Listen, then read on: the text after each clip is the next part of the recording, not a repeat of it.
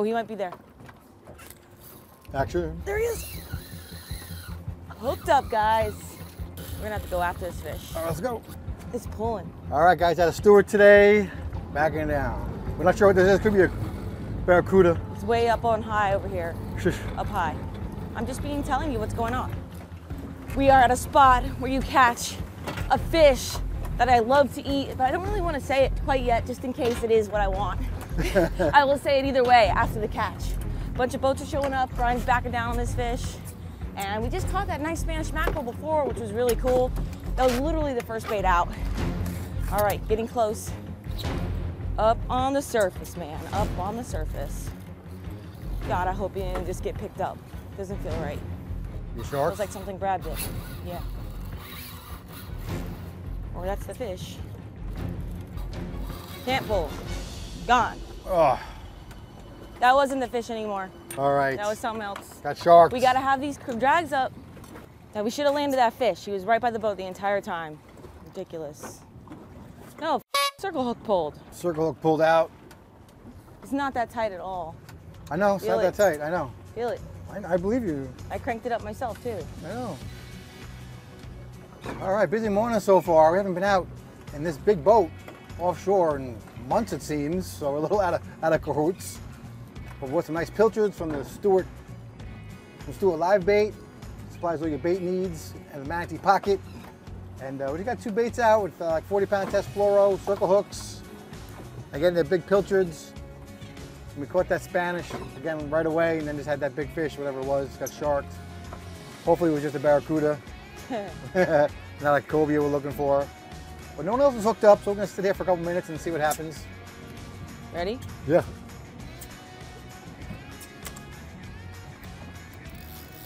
There he is. All Fish on. right. All right, get, but babe, I wait will. over there. We I got a line over there. I will. Not far out at all. You're all right. Come on, buddy. Get to the boat. Get to the boat. All right, we got a fish on. Fish on, baby. Ooh, big head shakes. Got the drag set a little tighter. Fish coming in a little good right now. You just keep reeling. Fish getting ahead of the boat. Whoa, Shit. what is this? Let's go, let's go. Holy, that might be a big king. You gotta go, babe. Holy crap, the head shakes are incredible. Rocking me. Holy smokes. Real. I You can't, baby. Don't don't tighten it too much. I don't know. Should have sat already. I can't, baby. Still pulling. Like the fish woke up when he saw the boat. Gotta be getting close. Don't see him yet. Broke. Oh. I don't know what that is. It's weird. Oh. Not acting like a cobe at all. The sharks don't run like that. I had fif- more than 50 feet out. Still going. Everything, bro. He just cut the cut off, cut you off. Right. It's probably a king. it's a big king or cuda. Probably a kingfish. All right, well, whatever it is, what it is. I don't know what we're hooking. Nothing else we could have done. We did good. We did a good job. That was good. Yeah, we did a good job. That fish was down. That's the other thing. Like cobia, those cobia come straight up. Right. Like that fish was down, Yeah. down, down, down. And All right, then when well, he when he saw the boat, he took off Yeah. All right, we're gonna run out and see what we can find. And uh, When we get a hook on, we're done. all right, good. Okay. Nope. He's swimming at the boat? All right. Jeez, is this? Ripping across the surface. Weird bites today. All right, we're on a wreck right now. Watch I yourself. got my line down. Darcie got got the top I was line. just getting rigged up, and yeah, the flat line went off. Always have a flat line out, guys. Always have a flat line. I always tell you that. Bonita, Yeah. I'll take it. We need a bonita. Nice bonita.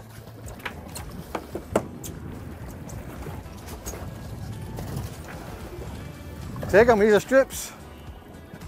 Yeah, he just put his head back under. grab, grab, grab, grab. Shit. Shit. I'm under the engine. Gosh, I'm a googan today. Come on, baby. I know, baby. Please. Please grab them for me, okay? Ready? Go, go. Nice job. Thank you. Woo! It's a nice one. It's tough with those little bonitas. You land them so fast, they swim all under the boat and stuff. But I need that bait so bad, so I'm pretty excited about it. Yeah, it. was great. I never get excited about bonita, but I'm excited. yes. Woo! Yeah, that, that's what we catch all our wahoo on. She's gonna cut that into strips. That's one of the best buddy. trolling baits you can make. Yes, we're almost out of baits. Yeah, so you want, and you also want to keep that, you're gonna make it nice and iced down nice, like you're treating it like a real fish, because it's gonna make your baits better. too. Correct. And I think I'm even gonna bleed them. Oh, I don't know if you need to do that, but Well, it'll be less blood in the meat when I'm playing. that doesn't matter. You can bleed them right there? Well, I don't want them in the bag. All right. Whatever. Show them.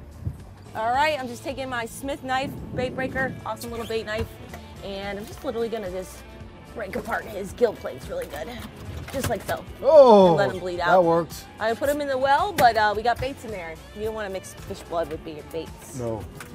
Hey, Brian, you fight, you fight it. All sure right, don't lose Puddin', that you got one. I got it, I got it, I got it. Did you, did you tighten the drag at all? No, I did not touch the drag. I think you got a bonita. I think so too. Woo! We will take the bait. Brian's got to fight some fish, get some exercise. Yeah, I do. I need it. I consider fishing exercise, but Brian doesn't. not. Whoa, watch my line. Just try to. Let me get on this. Oh, I can't. I'm gonna whoop them much Let faster me know than you if did I anyway. need to gaff them or whatever. I don't think Whoop so. them, Brian. Whoop them. It's the head of the boat. Line's out the back on the other side. Get him off the boat. Down low, down low. Oh, he broke off. No, he didn't. He Get him, Brian. Whoa, big bonita. Watch the engine. I'm telling you, that's what they do at the end right here. Let me get his head. All right. Holy. Whoa, it was a nice one. Woo! All right, let me fish my bait. yeah, fish your bait, fish your bait. All right, so it came out deeper to about 178. And our live well stopped working. Boo! That's fishing. So spent 80 That's bucks on live baits and probably That- dying. That's boating. That's boating, fishing and boating. And uh, the current's moving four knots out here, so you can't really bottom fish or drift or wreck very effectively. Um, so we're gonna go in closer to the shore where the current is usually less.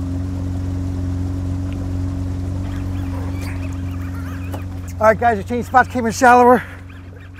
I don't know what it Nice, is. Brian. I didn't have enough drag. I don't think. Smoking Whatever. you. He's smoking you over there. 30 pound, I dropped down a 30 pound leader. I got a little more drag. I get him up. Oh, I he's coming, coming up right now. You ready? Get back. I'm coming. 20 foot leader? Straight up and down. Mutton. No. No, it's not. No, it's not. You're wrapped on my line too. Cut the engine. No, it's fine. My line is wrapped. All right. Cut the engine. Give me, give me, give me. Look, chasing the Big Cobia. AJ, big AJ. It's another AJ. Let go, hold up. I got it.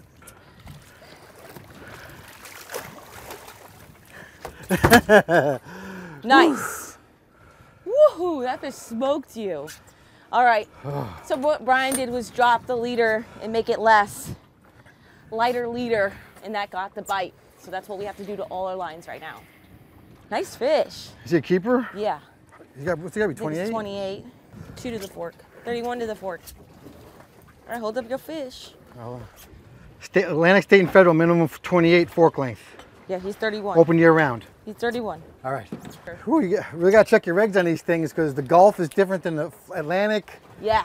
and the state and federal, so it's like a whole thing. So Oh, you I want guess me to pick up your fish? Yeah, you go ahead. I guess in the Gulf it's 34 inches to the fork, and here in Atlantic it's 28. So All right, Let me get in the honestly. All right, guys. So honestly, this is like the best eating size amberjack. Just over, you know, the recommended, just over the legal size limit in order to keep. And you can see how pretty that fish is. He's going to be tasty.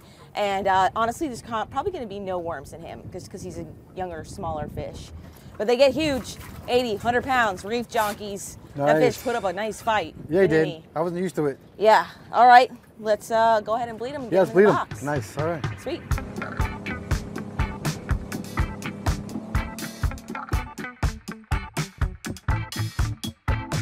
All right, guys, back at the house.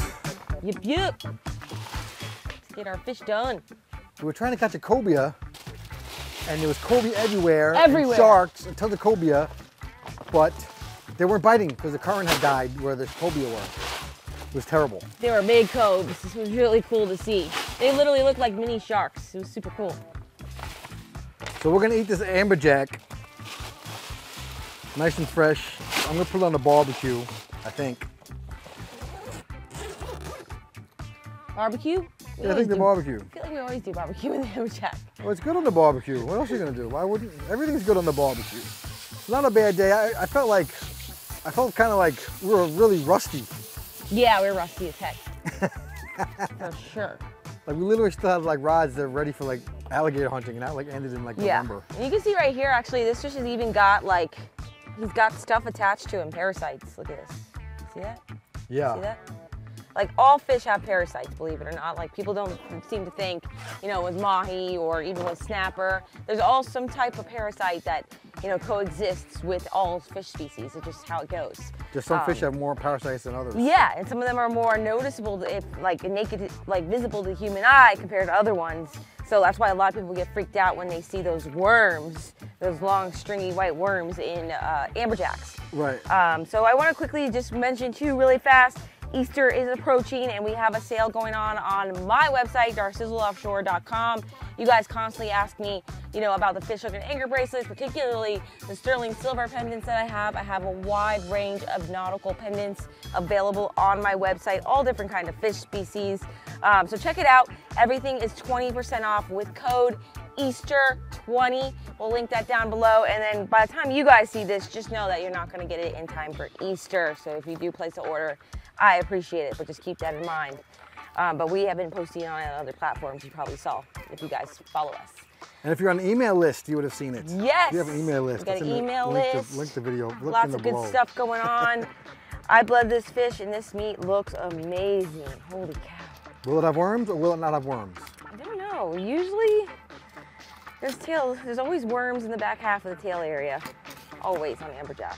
But so far, don't see any. Hold your breath. It's 'Cause so I feel like can't this see. fish is a little like he's just a little on the skinny side, like Like me? like me. He's a little on the skinny side, and maybe that's why. I don't know. Maybe it's like a migrating fish. But look at this meat, like pure white. I don't see a single worm. Usually you'll start to see the worms all back in here. Well, it's definitely in the bigger there. fish too. The bigger no. fish. Yes, but also like right here you would see it in through Yes. the cavities and everything. And you can't. There's no worms in here. That's a worm. Spoke too soon. Yes, that's a worm. Uh, actually, that might be part of his Yeah. all these connections. Anyhow, Anyway. I think there's no worms in this fish. Wow, it is super bright out here. Yeah. So it just goes to show you guys that the smaller the fish, you know, he hasn't been in the water as long for things to get attached to him and things to grow inside his body and all that gross stuff. Right. Uh, particularly with the AJs, but this size fish is just a perfect eating size fish. And now we just switched to the eight inch Darcie's little fillet knife. That's always linked down below, guys, when I use my knives. So if you want to see those, check that out as well. And I'm going to keep the knife up a little bit because there is a bloodline right along that skin. You see that? Look at all that red, red meat. So just keep it up a tad. Sharpen these knives real good before I came out to fillet this fish. Well, now, I- People always ask about sharpening. So how often do you sharpen your knives? Quite a bit. Yeah, like every fish, right? Or every, Um, every time you. Depending on ty- the type of fish it is, but I'm always sharpening these blades about like every two, three fish on average. Uh, you have to because that's how you keep your edge sharp. Yeah. Just- I mean, any professional fishmonger or any person that works with knives, like a sushi, what do you call sushi chef? Yeah. There's all different types of names. They'll tell you that they're always sharpening their knives. I mean, Right. it's just it's just part of the game. You you know, I can't go through a dozen fish and not sharpen it. It'll be dull by the end of that. Yeah, you know, sharp tool's a good tool, and you're al- when you, sh- when you do fish, you're also hitting like bones and all kinds of things. So you know the knife gets all mixed up. Yes, yes. Luckily with this fish, there's not a whole lot of scales. There's not a whole lot of bones. But you can see how sharp that blade is. I could just cut like right through that thin layer of red meat and knock it right out. And that's like sushi grade right there, nice and thin. Nice. All right, but look at that. That is gorgeous. There is no worms in this amberjack. I am like 95% sure. You would be seeing worms all through Well, it here. looks nice. Look at this meat. Oh, looks so good. Yeah, it looks delicious. It's We're gonna be so great. spoiled. So spoiled down here in South Florida. Living the dream, guys. That's for sure. I'm always like wanting to catch more fish, but we had a great day on the water. Yeah. Not, you know, not too bad for us. First time back out in a long time. So Yeah. we can only get better from here. Yeah, you know, also the boat had just got serviced. Yeah, been in a Yes. while, so we looked like like like a shakedown cruise. Right. Not get too crazy, not drive 200 miles offshore. Yeah. and we found out our bilge pump's broken. Yeah, so there you go. So there you go. The shakedown cruise worked Shook out out. that. Nothing too terrible, but I mean, hopefully we get it fixed sooner rather than later. So Ryan's becoming a mechanic right now. So much fun. All right, let's get let's get these guys to the eating part. You're boring them to death. Sorry, let's do it. All right, see you outside. Inside. Thanks for cleaning those amberjack Darcizzle, and welcome back, guys, to another episode of Cooking with Puddin', your favorite part of the show. Today we're cooking that amberjack up nice, of course, and I'm gonna do a barbecue. I got, I already got broccoli cooked. It came out too early. I got yellow rice, and I got the beautiful amberjack here. Come a little closer, Darcizzle. Now the amberjack steaks, some of them were very thick, and actually this meat just looks delicious. So I like to cut them in equal sizes. That's gonna do two things. One, it's gonna make them cook evenly, and number two, I'm gonna be uh, coating them or marinating them in some barbecue sauce, just to pick your barbecue sauce that you love the most. And so a little bit thinner pieces is gonna give it more flavor and more surface area for the barbecue sauce to adhere to, right? Make it a little more juicy. You just gotta make sure you don't overcook it, okay?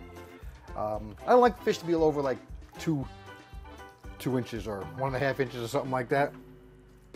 So I got the barbecue heating up outside, and this is very simple. I also got some salt and pepper on here, but this is really one of my favorite ways to eat amberjack. And you know, some people poo-poo on amberjack because sometimes it has worms, and as you saw, this really had no worms. And it's really delicious fish, nice and white. You can barbecue it. You can put it in a pan. It's it's sort of a medium to firm, delicious white fish. Uh, you know, and you can like even put it over a salad or over some rice or something. And again, like I said, we do have some white rice. So pretty exciting, but let's get right to it. Oh, and I also wanted to say, we caught those bonitos. Now we haven't been out in the ocean in quite a while, but you guys have to stay tuned for the next video. Darcie made some delicious bait strips with those bonitas, which we've been waiting to catch because we're running low on bonita strips, and we caught three wahoo in the next video on those strips. So this is almost like a companion video to that. Uh, we caught the bonitas. We made the bait. We caught some awesome fish. So stay tuned for that. But let's get right to the barbecue. All right, that was quick. Got the food. This is my brand new barbecue grill. Thanks. Nobody. Thanks, your tenant. Yes, I don't know if I told you the story, but I actually got this, found this at one of my tenants' places like 15 years ago. I evicted them and they left the barbecue. And I've been using it ever since. All right, not that exciting, just putting the meat on the grill. We'll be back in a minute. Maybe two or three minutes. You don't want to overcook fish. You don't want to show the people any of your flowers. Which flowers? See, look, there it is. so red. Show that your red berry. So we're here waiting for the fish to cook, and Darcie's showing a little bit of her gardens. I said, figure to show you. So that's a miracle berry. yes. They're very tasty. You put that in your mouth and it makes everything taste sweet. Well, show me your, what else you got? Lilies? This is the ghetto garden, as I call it. Not lilies, orchids. yeah, I've got all kinds of orchids in baskets and stuff. I was just showing Brian, not that he cares, but I've cared so much I put it on the video. no. This is another orchid my aunt gave me. There's like a new growth right here coming up. It hasn't flowered yet. Another growth and a new growth right there. New pseudobulbs is what they're called on orchids. Show us the phones of flowers. Yeah, this is a this is a coconut orchid, also known as a maxa maxillaria. I forget the true name, but coconut orchid because their flowers are supposed to smell like coconuts. And this one I just got as a gift from Aunt Cece. If she sees this, thank you. But um, yeah, hers is flowering. She just gave it to me about a month ago, and that's the coconut orchid. And it has like a super light fragrance. So I'm kind of like waiting on this one to start flowering. Nice. But yeah, got a lot. Got a lot of stuff. And so right here we got roses Lots of roses. and the boats. I'm, I don't want to bore these people too much, but No. you can see Darcie's And you can pineapple just see garden. my giant pineapples over here. Show us how they're growing. That's what they want to see. Yes. Look at this, guys. I've got all different levels of plants. Crazy. Yeah. So this is what Dar- this is Darcie's other habit, other Yeah. habit or hobby besides fishing. Yeah. This is called the red heart stage because it's almost done flowering. You can see the last row of flowers at the top, and then it's going to form into what those look like behind it. Like that. Nice. Beautiful. Yeah. I'm excited. This one's going to be a huge, huge pineapple. Yeah. It's got a long way to go still. How many And pineapples you got out here You today? can see like right here are all the babies popping up. Oh yeah. so One, those are, those are the new three. plants. Yeah. Like usually you hear about you can go to the store and plant a plant. Yep. But those are, you can kick those off too. Yep. New plants growing on all of them. Yeah. So yeah, pretty cool. That's a medicine plant right here. Oh, my- Aloe. My, vat, aloe plant. My my uh, stuff's all messed up. My uh, there we go. Aloe plant, Yep. herbs, herbs. Look at that tomato plant. Yep. oh look, this flowered. We gotta get the, we gotta check the fish. We gotta check the fish. We gotta cut We got this. pretty. We got pretty. Cut this and bring it in the house. Oh, That's gorge. Nice. Gorge, and we're up there. Look how tall this rose bush is. Freaking nuts. Yeah. All right, in a container. All right. It's been too long because we're out playing in the garden. You can see these are white on the top, which is bad. You can have a plate, baby. No. But I got nice grill marks on there. I got a little stuck. These are, see, that, see how white that is already? That's already done. I think a lot of these are done already because they're waiting too long. These done. See, it's already flaking. Look at that sizzle. See flaking? Flaking, and these are done. You caught it in the right time. It's not, I mean, it's not overdone, but we're lucky. All right, guys. I just went right to the plating of the food. And as I mentioned before, we just had a nice handful of broccoli, some delicious yellow rice, and a nice small plate for diet pumpkin pudding, and of course, the delicious fish. Dive into our sizzle. Wash it down with our favorite beverage. I just spilled some on there. Again, the key is, guys, while Darcie tasting this, don't overcook it. I, I know I keep saying it, but it's so epic. This cooked for four minutes and it's almost overcooked. That's the key to success with the all fish. All fish. What do you think, Sizzle? Good. That's all? Just good? Mm-hmm. It's not Can't delicious? beat it. It's amberjack, man. Yeah, and you know, and here we like to specialize in, in super healthy and, and fairly simple recipes. We think that's most of you guys are doing at home. So, again, you can also do this with uh, Italian dressing. Super easy on all kinds of fish. Whatever kind of marinade you want, pretty pretty much. Yeah, pretty much. Yeah. All right. So, until our next adventure, follow, Follow your your dreams, dreams, and keep keep on on catching, catching. and make sure you stay tuned for the next video. Turn on your notifications. Yes, don't miss it.